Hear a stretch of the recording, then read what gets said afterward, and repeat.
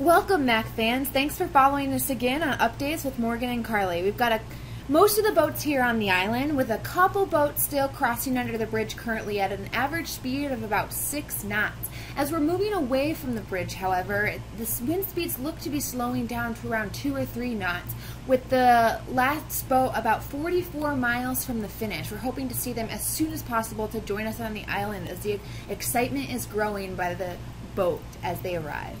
And don't forget, we do have the Sailor Celebration tomorrow at Woodfield Park. We'll be providing a live update from that, so we can't wait to see you there.